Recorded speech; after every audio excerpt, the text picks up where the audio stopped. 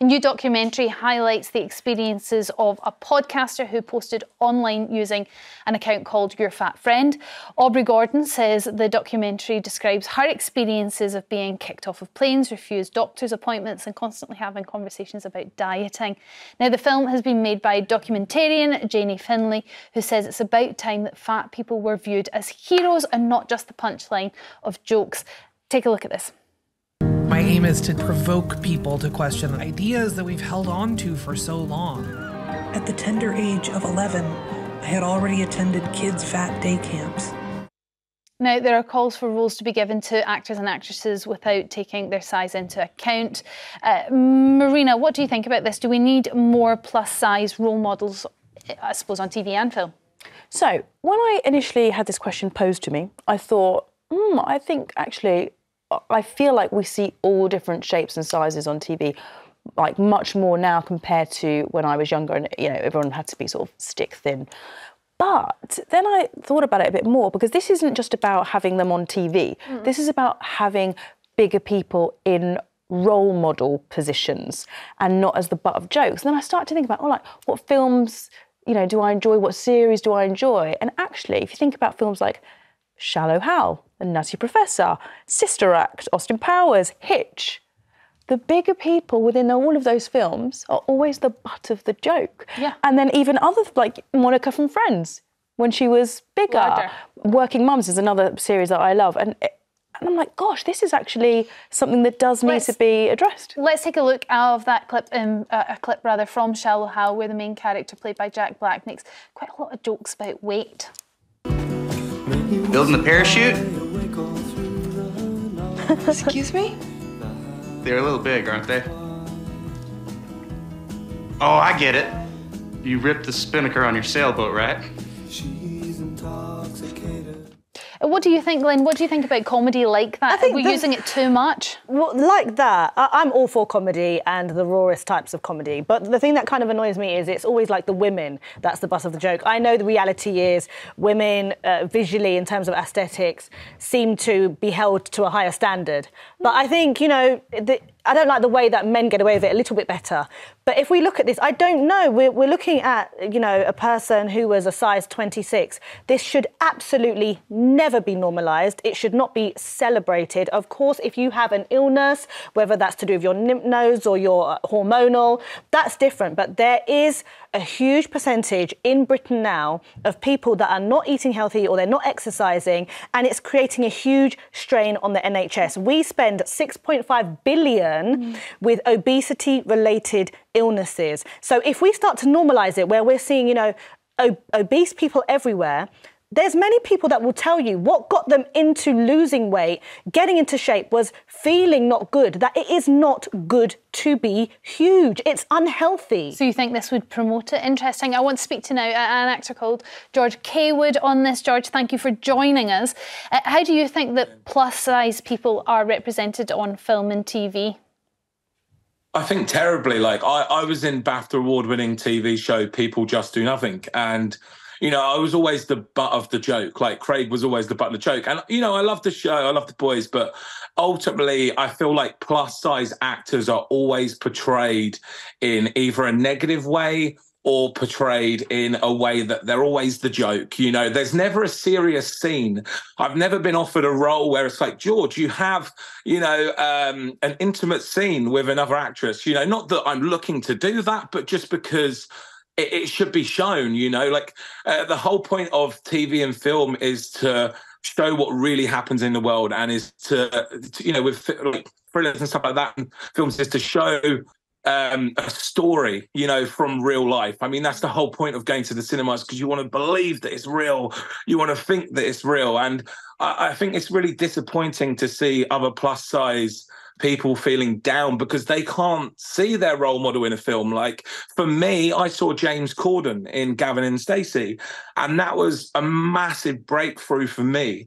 You know, as a plus size young person, in in in seeing that I could achieve and I could be an actor, and I saw James Corden, and that's what clarified to me that it can be done, and I can achieve that same dream. George, uh, James Corden uh, did predominantly play comedy acts initially in his, his Mm, career. mm. So he was already reflecting that and it still inspired you. I suppose the criticism, or what would you say to the criticism that Mm. actually carrying additional weight is not going to be good for your health and it's not something that we should encourage or put up on a pedestal on TV and film? Yeah, I mean, of course. Look, in no way should we ever encourage anyone to be unhealthy. Um, you know, obviously, we're not encouraging that. I, I think we need to separate those two things because, you know, there's, there's, you know, the health side, which is a separate matter, but then there's the side of your mental health. You know, where you know, seeing other actors portrayed in a good way, in a positive way, plus size actors will encourage people to feel better in themselves as well. And a lot of young people who are plus size will give them the confidence to think, well, actually, look at this guy. He's doing amazing. Like, I can do that. You know, I think the whole weight loss aspect is a separate issue. Um, and I don't think that being on TV is encouraging people to be plus size, um, especially when you're the butt of the joke, is the complete opposite. I think that's quite negative, And I, I think the impact that does to someone is much greater than just being plus size itself. You know, mental health is a bigger issue than being plus size in, in my eyes. And you know, I I, I think that we shouldn't just completely remove plus size people from TV, and that's going to cure an issue because it's not going to happen.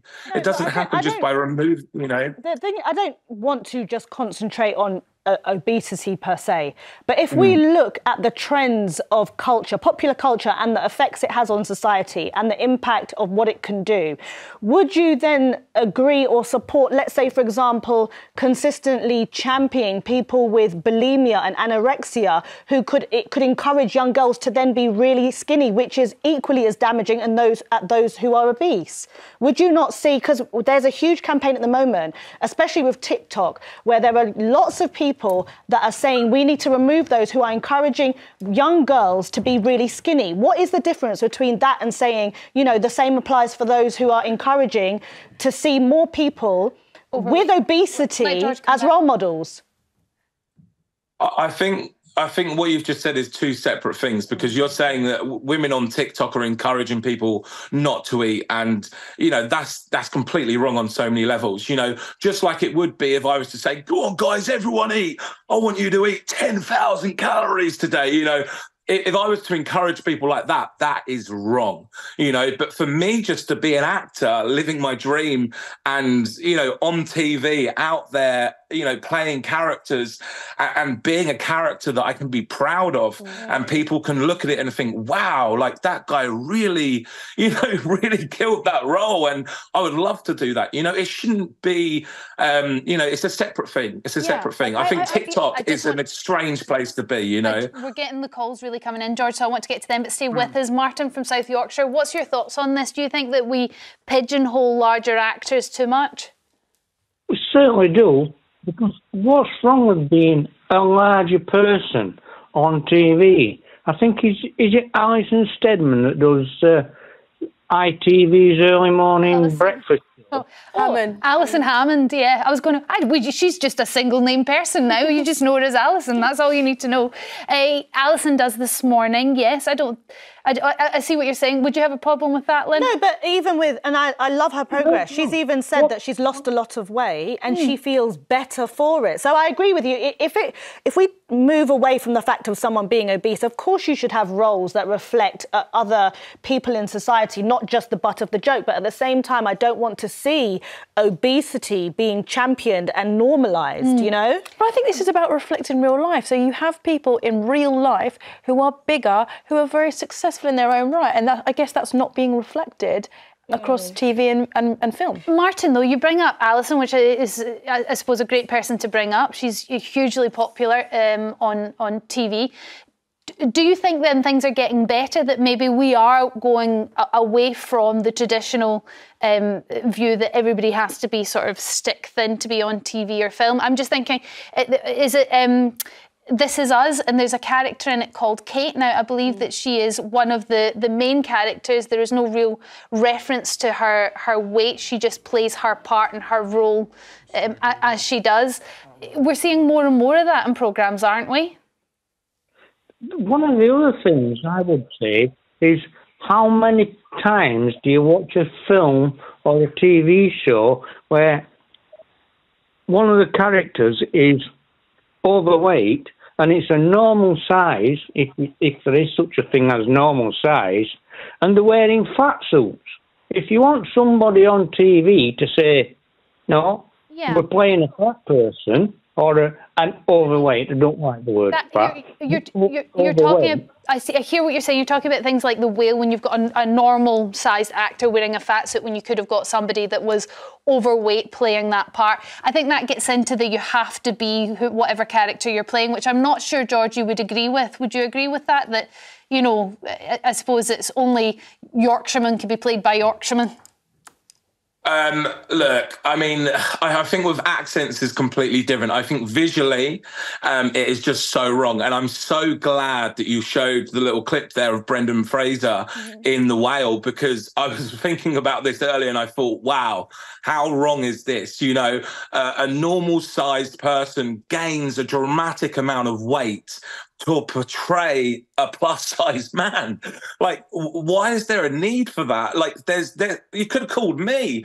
You know, like, there's no need to um to do that, and I, I, it really baffles me, and it really kind of ups, upsets me because this is. I mean, I don't want to compare it to this, um, but it's kind of like the whole Little Britain thing with you know painting Yeah. your face and Yeah. all of this stuff. It's the same sort of line, you know. I think obviously it's a completely different thing, and we get it, but you know, I feel like it's on that same line of portraying a different race or you know uh, a different gender, and I think you've got to be very careful in how you do that That's um, when you know.